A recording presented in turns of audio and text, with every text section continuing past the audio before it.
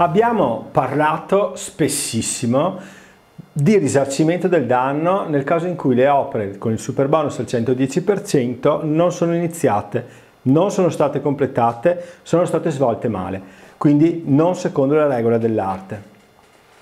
Abbiamo anche accennato in altri video eh, di come si fa a calcolare il danno eh, che tu eh, hai patito per uno di questi tre motivi.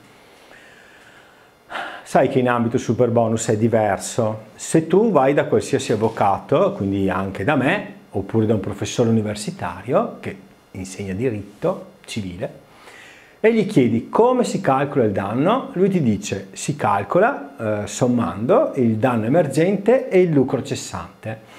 Ti spiego già in altri video più nel dettaglio di cosa si tratta, ma qui lo rimettiamo un attimo sulla scrivania in modo di eh, riagganciarci perché poi bisognerà aggiungere qualche cos'altro. Allora, innanzitutto ricordati sempre che il danno emergente e il danno lucro cessante. Il lucro cessante sono i soldi che tu ci hai rimesso a causa di quell'evento, a causa di quell'evento che è accaduto. Se tu sei un camionista eh, e eh, ogni giorno, grazie ai tuoi trasporti, hai un fatturato di 1000 euro, cambia mestiere, di 5-6 mila euro, eh, allora eh, avere il camion in carrozzeria per 15 giorni ti ha dato un danno pari a x euro, quindi danno emergente e lucro cessante. Il danno emergente e il lucro cessante sono due parole veramente difficili che però in realtà eh, sono semplici. Il lucro cessante è i soldi che ci hai rimesso a causa di quell'evento dannoso. Quindi se sei un camionista e per esempio ogni giorno per il tuo viaggio guadagni 1000 euro, cambia mestiere quindi se guadagni per esempio 3.000 euro al giorno grazie ai tuoi viaggi, eh, se io eh, ti rompo il camion perché te lo danneggio con una mazza, perché ti vengo addosso con il mio furgone e lui deve rimanere fermo per la carrozzeria, per aggiustare il motore, eh, 5 giorni, 7 giorni eh, lavorativi, tu moltiplicherai quei 3.000 euro per 5 giorni o 7 giorni e quello è il lucro cessante, non hai potuto lavorare. Oppure se eh, hai, potuto, hai, preso un camion a noleggio eh, ti dovrò risarcire il costo del noleggio del camion, perché comunque tu hai lavorato i 3.000 euro al giorno li hai portati a casa, quindi ti pago solo il noleggio. Questa è una prima componente di danno.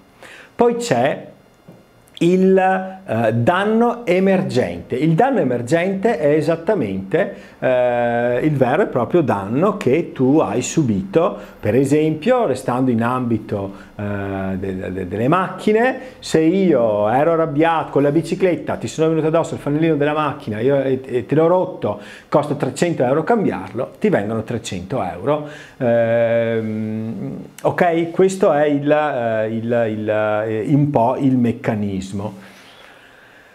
Ma come riusciamo in ambito contrattuale, quindi parliamo di contratto d'appalto eh, tradizionale, non parliamo di, eh, di, di, di contratto d'appalto super bonus, quindi facciamo un passino alla volta. Quindi contratto di appalto tradizionale io ti ho uh, svolto le opere, te le ho completate, ma non sono state fatte bene. Eh, a quel punto eh, sì, eh, il giudice dirà eh, un mio tecnico esca e mi dica se le opere sono state svolte bene o male.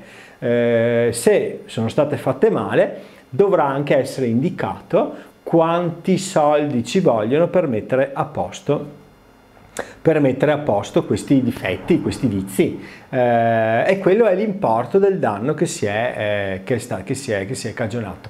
Chiaramente, qua parliamo di danno emergente e se invece vogliamo, sempre per rimanere in questi due esempi, perché ripetendoti questi termini ti entrano, quindi li ripeto mille volte, eh, non per annoiarti ma proprio per farteli entrare in testa perché la ripetizione fa fissare le cose nel nostro cervello.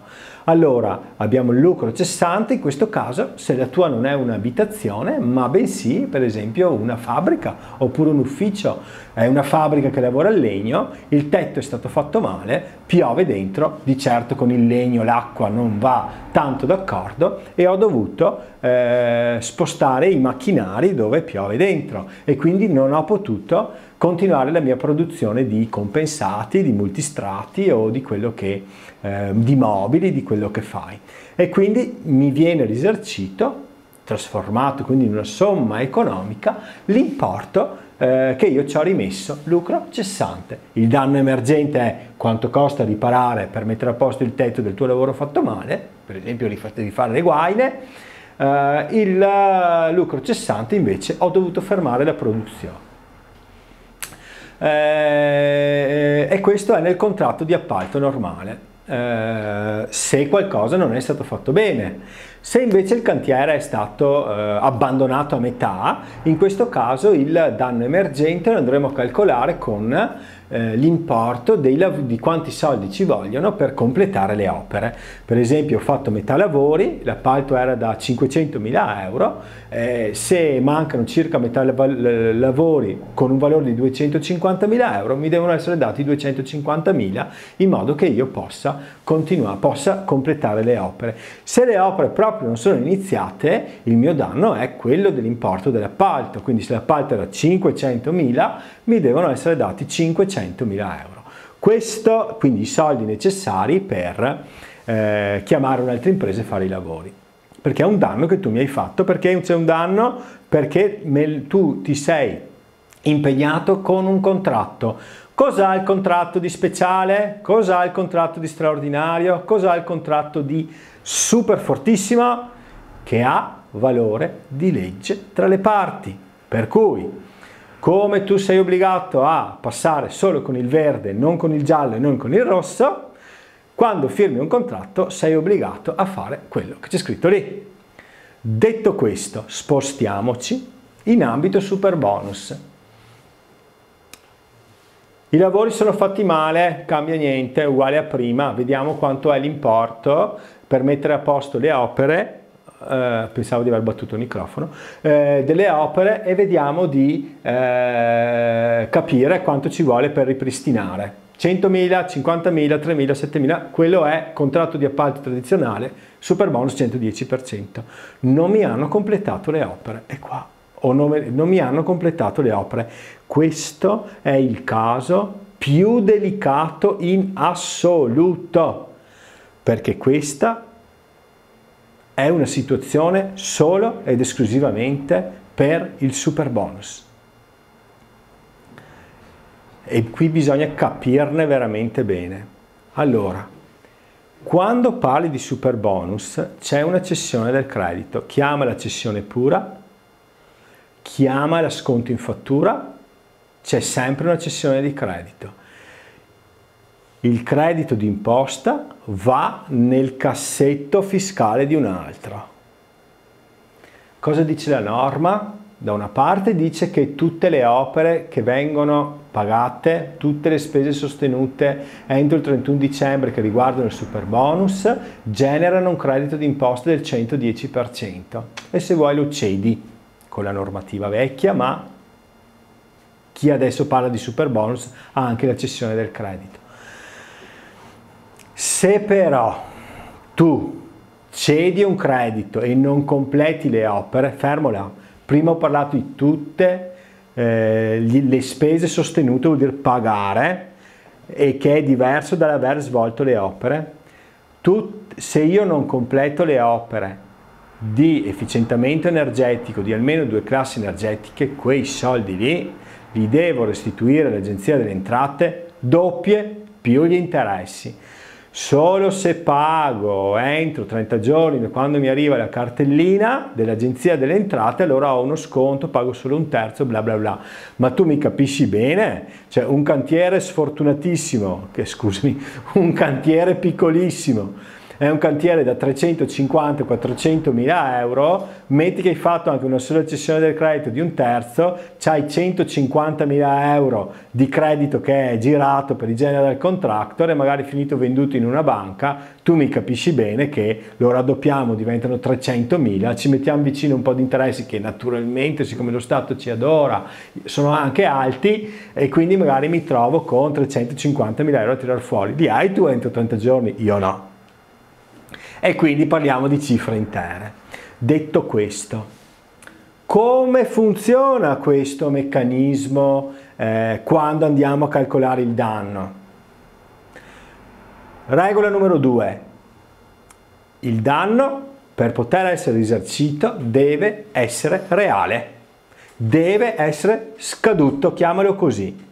Cosa vuol dire? Che tu non puoi chiedere un risarcimento del danno per un danno futuro che forse avrai o non avrai. Cosa vuol dire? Che tu adesso fai causa all'impresa perché non ti ha completato le opere, abbiamo detto che ha fatto 150.000 euro di opere ed era 300.000 l'importo totale o 450.000, gli chiedi i 200.000 di differenza, no? 450, 400 meno 150, 200, i 200 mila euro di differenza. Ma siccome lì potrebbe arrivare l'agenzia delle entrate, quando l'agenzia delle entrate arriva gli dovrai fare causa di nuovo e quindi è importante che nel primo atto scrivi mi riservo se l'agenzia delle entrate viene a bussare alla porta e quindi tu quando sei in questa situazione uh, hai due possibilità. Se puoi, chiama un termotecnico, chiedigli cosa devi fare per raggiungere esattamente le due classi energetiche.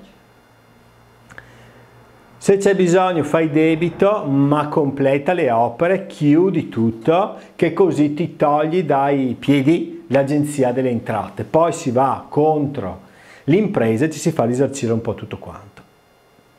Eh, se invece non hai la possibilità economica di completare le opere, chiedi al general contractor che ti restituisca il credito che tu dopo non porterai in detrazione né niente, ma facilmente non te lo darà. Io ho avuto dei casi, a dire la verità, dove con il general contractor ci siamo accordati, gli abbiamo dato qualcosina, ma veramente qualcosina, e ci hanno restituito i crediti. E quindi voglio dire l'abbiamo, l'abbiamo portata a casa bene, però non tutte le situazioni sono così, non, non, sono, non, non, sempre il general contractor può farlo perché magari li ha già venduti. C'è un general contractor qua della provincia di Vicenza che sarà un mesetto fa, circa un mesetto fa, è fallita e di queste situazioni ce ne sono parecchie ma questo aveva ceduto tutti i crediti perché appunto questo era l'acqua con l'acqua alla gola eh, per overbooking e, mm, eh, e, quindi voglio dire lì in quel caso eh, tu, tutti i eh, clienti che si sono trovati con i lavori da completare hanno, fa, hanno seguito questo mio consiglio. Ne ho seguiti, ne ho seguiti tanti a dire la verità eh, e gli ho detto a tutti eh, la strada più corretta che è quella che ti ho appena detto ma te la ripeto perché guarda che è importante. Allora chiami il termotecnico ti fai dire quali sono le opere da completare per raggiungere esattamente le due classi energetiche, si modificano i capitolati, si fa una variante in comune e poi eh, si completano le opere, così dopo dopo se uno è fallito che causa vuoi fare, ma se quello non è fallito, eh, dopo si fa causa e si, si, si, si riprende indietro tutto, la causa eh, si chiede al giudice appunto di poter avere questo risarcimento nelle componenti che ti ho parlato. Ultima possibilità, i lavori non sono iniziati, questa è, una, è la miglior situazione che tu possa avere al 15 settembre del 2023 eh, puoi fargli la causa perché questi lavori non li ha mai iniziati, ma finisce lì, voglio dire, ok? Non è poco, ma finisce lì, è una situazione certamente migliore di avere il tetto che cola, il cappotto che si stacca, piuttosto che i lavori piantati a metà, che quella è veramente una fabbrica di danni, è un dramma. Eh, Ok? Capisci perché è importante eh, mm, riuscire a muoversi molto bene in ambiente super bonus perché non è uguale ai contratti di appalto tradizionali. Mi fermo qui, ti saluto, ti ringrazio e ci vediamo al prossimo video, ma campanellina, metti mi piace così mi dai un po' di soddisfazione per questi video che sto facendo per te e ci vediamo al prossimo video.